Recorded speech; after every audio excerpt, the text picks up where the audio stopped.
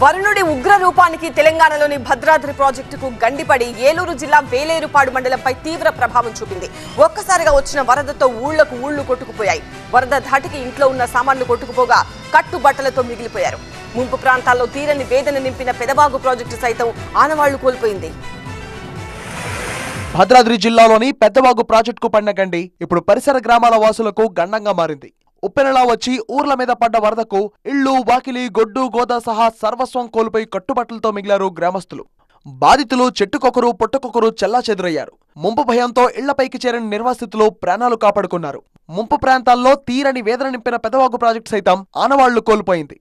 పెదవాగు గండితో దిగువన తెలంగాణలోని భద్రాద్రి కొత్తగూడెం జిల్లా అశ్వరావుపేట మండలం గుమ్మడవల్లి కోయరంగాపురం కొత్తూరు రమణక్కపేట గ్రామాలకు పాక్షికంగా నష్టం జరగ్గా ఏపీలోని ఏలూరు జిల్లా వేలేరుపాడు మండలం కమ్మరిగూడెం ఒంటిబండ కోయమాదారం కొత్తపూచిరాల పాతపూచిరాల అల్లూరి నగర్ సొందిగొల్లగూడెం వసంతవాడ గుళ్ళవాయి వేలేరుపాడు గ్రామాలకు భారీగా నష్టం సంభవించింది. ఐవీఎఫ్ ఒక అధునాతన సంతానోత్పత్తి చికిత్స. అనేక దంపతులకు తల్లిదండ్రులు కావాలనే వారి కలను నెరవేర్చుకోవడానికి సహాయపడుతుంది. ఈ రోజే ఓఎస్ఎస్ ఫర్టిలిటీని సందర్శించండి. తెలంగాణలో నాలుగు గ్రామాలు ఏపీలో పదహారు గ్రామాలు మొత్తం ఇరవై గ్రామాలు ముప్పుకు గురయ్యాయి దాదాపు రెండు వేల కుటుంబాలు ఎవరి దారిన వారు సురక్షిత ప్రాంతాలకు చేరుకున్నారు. భారీ ఆస్తి నష్టం పంట నష్టం జరిగింది. వందల సంఖ్యలో పశువులు గొర్రెలు మేకలు కొట్టుకుపోయాయి. విద్యుత్ స్తంభాలు చెట్లు ట్రాన్స్ఫార్మర్లు నేలకొరిగి వరదల్లో కూరుకుపోయాయి. ఎన్నో ఆశలతో సాగు చేసిన పొలాల్లో ఇసుక మేటలు వేసి అన్నదాత పరిస్థితి అగమ్యగోచరంగా మారింది. గురువారం ఉదయం నుంచి విద్యుత్ సరఫరా కూడా లేకపోవడంతో సెల్ ఫోన్లు పనిచేయడం లేదు. బాహ్య ప్రపంచంతో సంబంధాలు తెగిపోవడంతో ఆ గ్రామాల్లో ఏం జరుగుతుందో ఎవరికీ తెలియని పరిస్థితి. పెద్దబాగు వరద లోతట్టు ప్రాంతాల వైపు మళ్ళడంతో ధవళేశ్వరం దగ్గర వరద పోటెత్తుతోంది. మామూలుగా అయితే పెదవాగు నిండితే నేరుగా వెళ్ళి బంగాళాఖాతంలో కలుస్తోంది. కానీ ప్రాజెక్టుకు గండిపడ్డంతో వేలేరుపడ మండలం మొత్తం నీట మునిగింది. అనేక గ్రామాలపై వరద ప్రభావం పడింది. ఇళ్ళతో పాటు వేలాది ఎకరాలు నీట మునిగాయి. ఈ గ్రామాల్లో వరద బాధితులంతా గుట్టలపై తల్లార్చుకున్నారు అదే పెదవాగు వరద జల్లేరుతో పాటు అలివేరు బైనేరుకు పోటెత్తింది.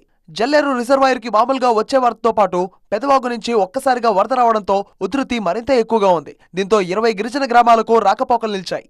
జల్లేరు మీదుగా అదే పెద్దవాగు వరద ఎర్రకాలువగా భారీగా వస్తోంది.